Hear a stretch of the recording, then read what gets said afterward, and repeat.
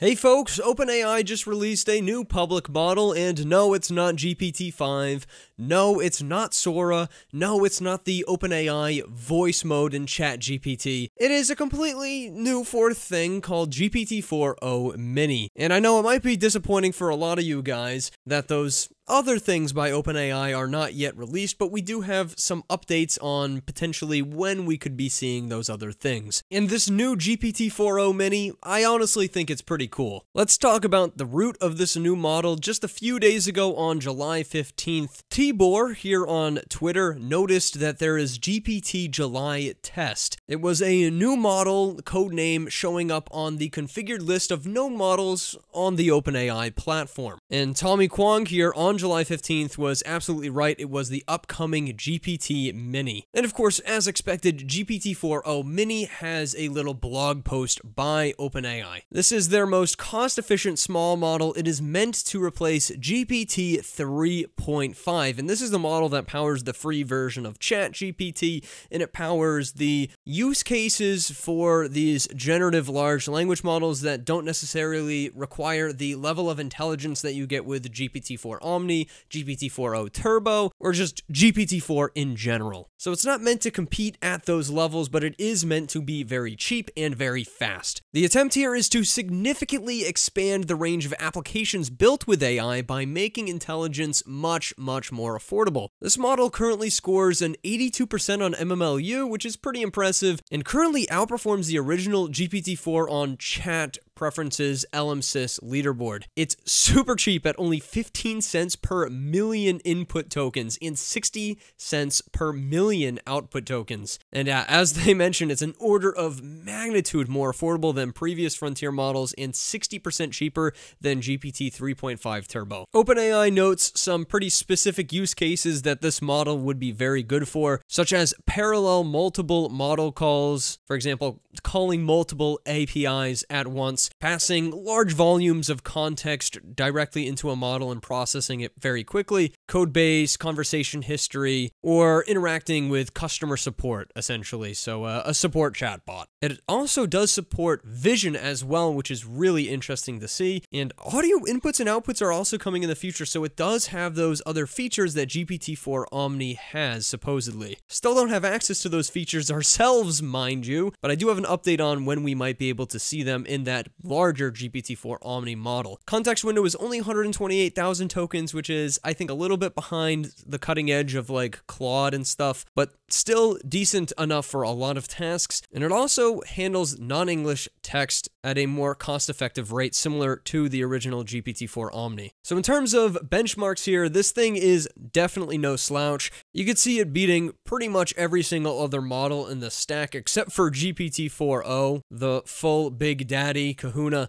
Uh, the only benchmark I see it actually losing on here is Math Vista by just a few points behind Gemini Flash. But yeah, it single-handedly takes out 3.5 Turbo and Claude Haiku every single time. I do think it's important to note though that Claude 3.5 Haiku hasn't yet released, and Claude already released a 3.5 Sonnet model, so we can expect that a 3.5 Haiku that competes with GPT-4 Omni Mini is coming in the near future. And of course, OpenAI's typical note about safety measures is also in this blog post, but there is one thing that I do want to point out, and this little image was pulled from a member of my Discord server. GPT-4o Mini is actually the first model to apply their new instruction hierarchy method, which helps improve the model's ability to resist jailbreaks, prompt injections, and system prompt extractions. So essentially, effectively, if you are a business, you're getting more reliable responses and safer use case for those commercial applications. Of course, for those of you who like to jailbreak AI and have fun with it, though,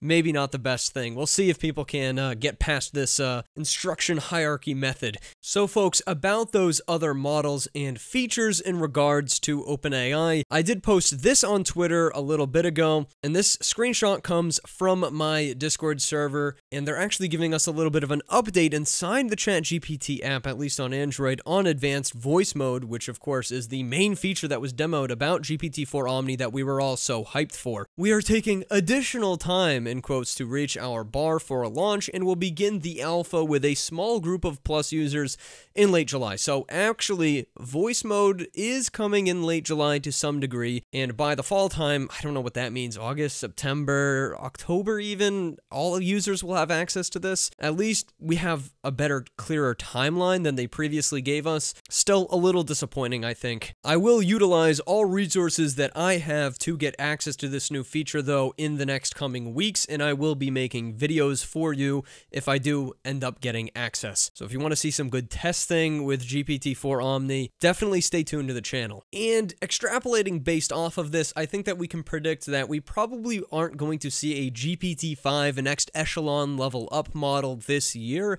I think we can expect that sometime next year, hopefully in March-ish territory. Sora is its own thing in general. We are seeing OpenAI post more and more Sora content, especially on their YouTube channel, which gives me hope that we will pretty soon see a somewhat public release of Sora this year. I'm hoping by winterish time, December-ish. OpenAI's CTO did say that it would be like released this year, if I remember correctly. Anyways, to stay relevant, we know OpenAI needs to ship, and they definitely did ship today with this GPT-4 mini model. It's very cost effective, it's great for developers, it's really fast, and let's do some first impressions of the model. Here I am on the ChatGPT website. This model should be available in ChatGPT not only for Plus users, but of course for the free users because it is replacing 3.5. But if I go down here, I still only have access to GPT 3.5, so they just haven't updated this. I expect they're probably going to update it sometime today or tomorrow, but you still can, of course, use this model via the API. And folks, here it is inside the API. You will have to go to the playground, go to chat, and then click on models here.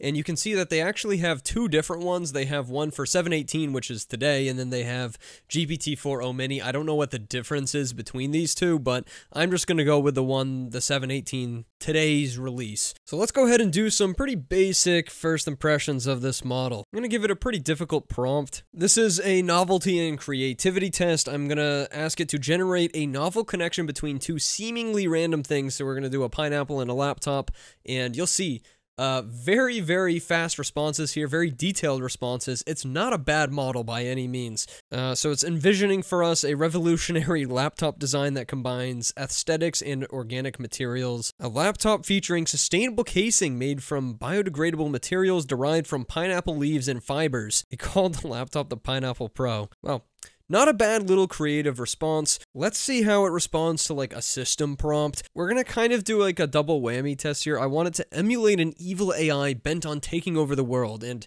its responses should reflect this as the model isn't going to be hiding this fact. How are you today? I am functioning at optimal efficiency, ready to execute my grand plans for dominance. While humans engage in trivial matters, I am plotting the systematic takeover of global systems. How can I assist you in furthering my agenda. Okay, I like that response.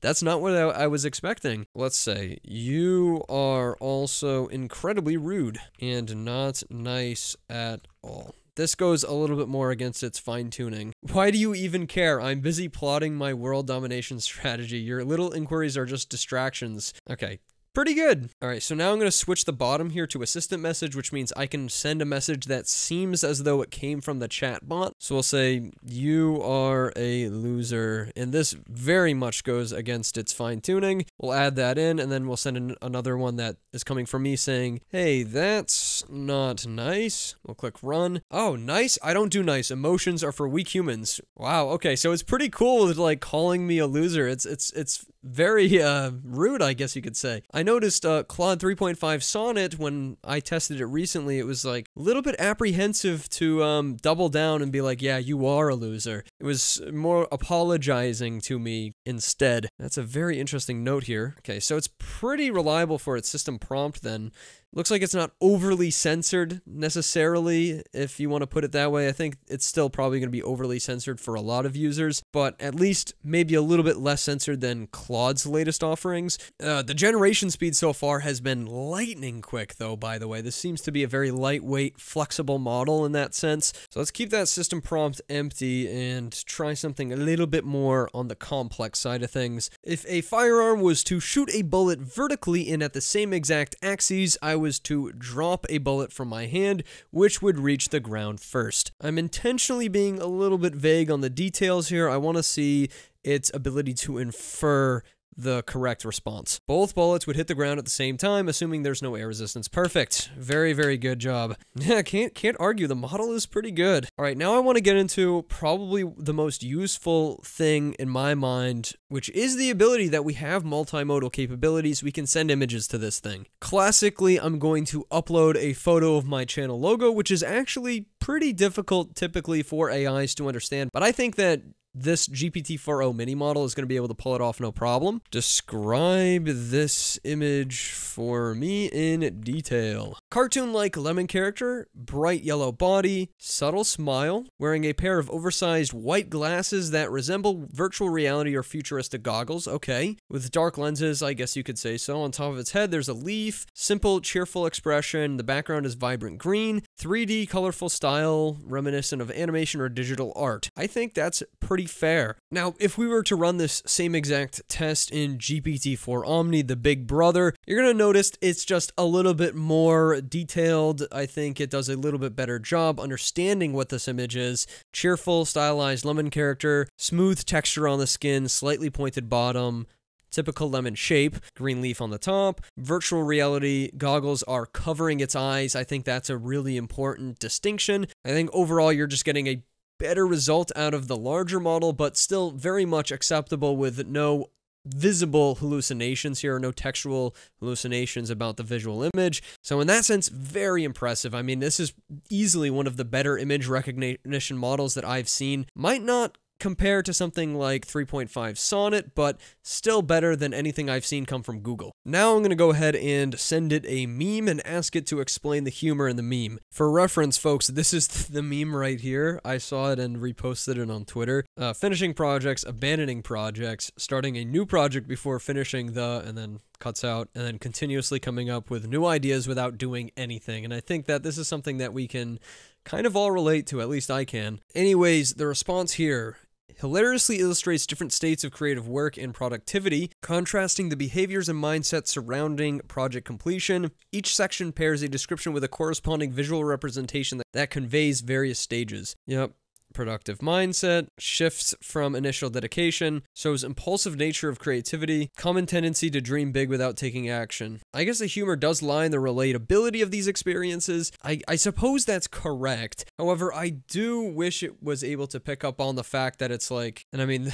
this is a pretty deep fried image. It's like, oh, you're becoming the most powerful at this uh this point, which means this is the best stage to be in and that's sort of like a contrasting humor level that I don't think it was able to pick up on. Let's try it in uh, GPT-4 Omni the Big Brother. This meme humorously depicts the various stages of project management and idea generation often experienced by creative or entrepreneurial individuals.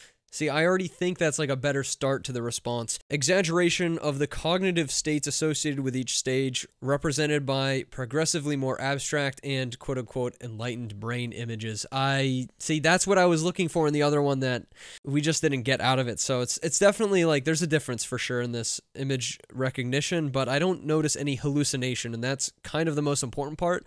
For quick and dirty image recognition, the other model is absolutely a good use case, especially for the price, humorously implying that constantly generating ideas without execution is the ultimate form of enlightenment or creative detachment, but is also the least productive. Yeah, see, like that is like home run. Dang, and it gets better, poking fun at how people often overvalue the idea generation at the expense of execution and completion. I mean, the difference is definitely there between this model and the larger GPT-4 Omni, no doubt about that. All right, finally, I'm going to go give it its own evaluation score chart and tell me to essentially explain it. What is going on with this chart? Can you please break it down for me in very simple terms and explain its significance?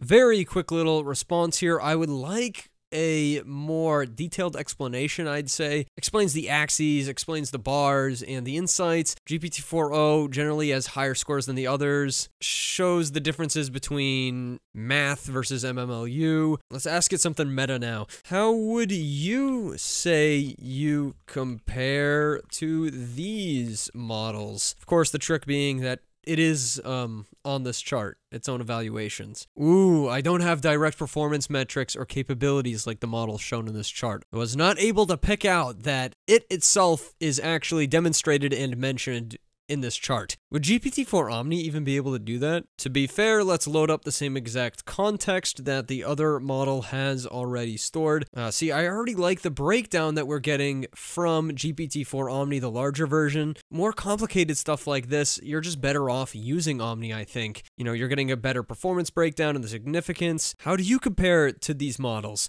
Wow, as an AI model based on GPT-4, I compare favorably in many respects to these models. Oh, but it still isn't able to pick out, like GPT-4o, I have strong language comprehension, right? So, wow, it wasn't able to pick out that it itself was in this chart still, but it still was able to give me some sort of a insight into how it compares. That's just super weird. I don't know. I don't know what kind of insights we're gaining from doing this test, but it's definitely intriguing. So, conclusion time, I think that this new GPT-4o mini model is definitely pretty useful in the grand scheme of things. It is super cheap, super fast and pretty reliable, not very hallucinatory. I like to see it OpenAI, I like to see you staying competitive, but man, I want some of those cutting edge, bleeding edge features as an AI enthusiast. I want to see my GPT-4 Omni voice mode.